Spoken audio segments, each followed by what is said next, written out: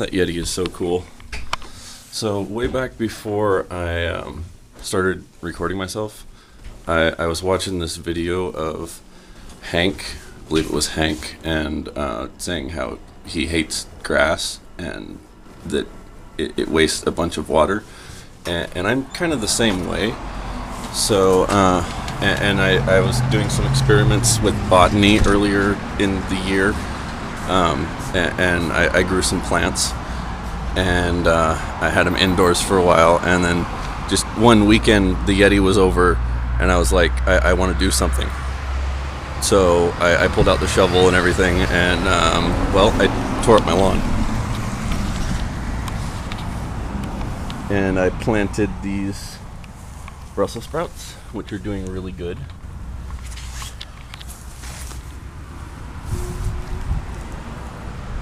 And then the celery, which is not doing so good. So yeah, destroy your lawns, plant vegetables.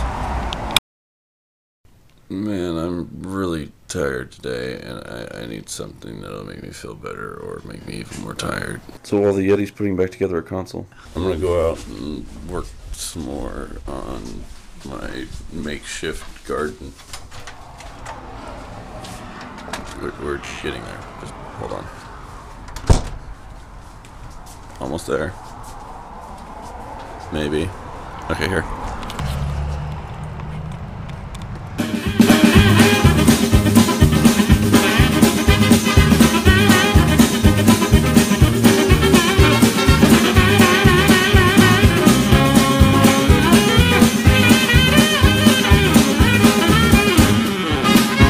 I'd like to set up an aquaponic system like this guy.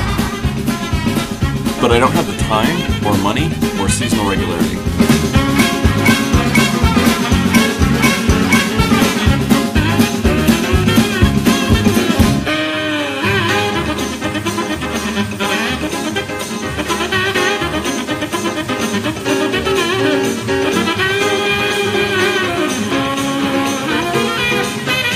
Okay, now this dirt sucks. It's hard and rocky and crappy, and we're gonna have to change that. So I got some potting soil and a big bag of perlite.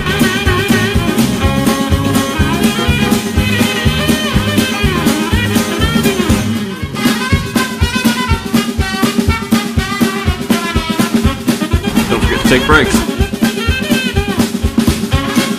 The dirt's really sandy and kind of clay-like, which is why I use so much perlite.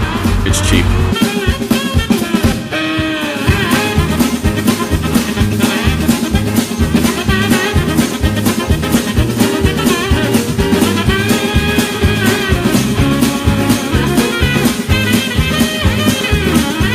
Okay, last thing before I start planting.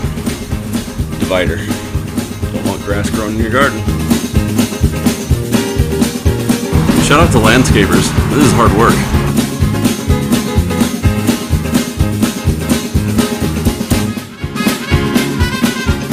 Wire cutters.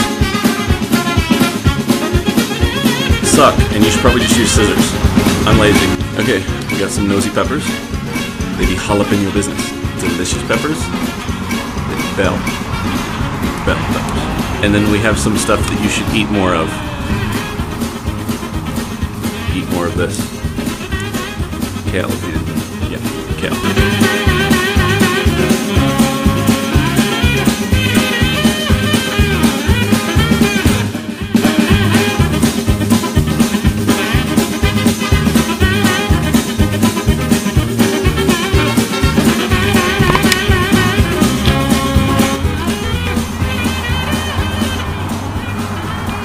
And that's how you turn your lawn into a nice garden.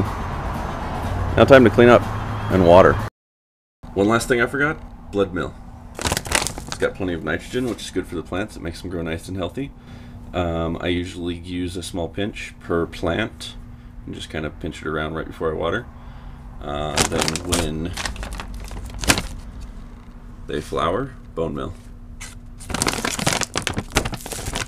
Which also has nitrogen, but also has phosphate and calcium, which is great for flowering.